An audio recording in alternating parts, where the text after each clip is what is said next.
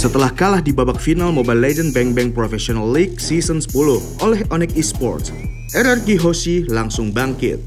Tampil di laga pembuka fase grup Piala Presiden Esports 2022, RRQ Hoshi berhasil menumbangkan Tiger Wong Esports dengan skor 2-0 pada Kamis 27 Oktober 2022.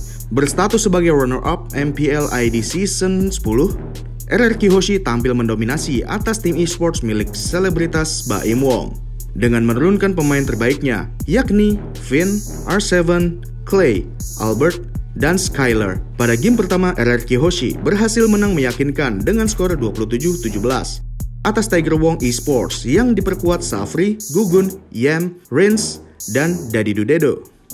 Di game kedua, tim berjuluk Raja dari segala raja itu mengacak-acak pertahanan Tiger Wong Esports. R7 yang menggunakan hero Yuzong mendapat Maniac dan mengakhiri game kedua dengan skor 21-7 untuk kemenangan RRQ Hoshi. Atas kemenangan ini, RRQ Hoshi berhak mendapat 2 poin. Semua pertandingan di fase grup menggunakan format best of two. Sebanyak 12 tim akan berjuang untuk meraih hasil maksimal agar bisa lolos ke babak selanjutnya. Empat tim yang meraih poin tertinggi setiap grup akan lolos ke main event. Adapun tim yang menang akan memperoleh satu poin untuk tim yang seri dan tim yang kalah sama sekali tidak mendapat poin. Babak grup stage sendiri akan berlangsung hingga 30 Oktober 2022 mendatang.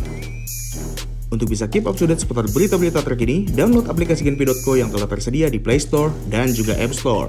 Genpi.co, tahu kamu banget.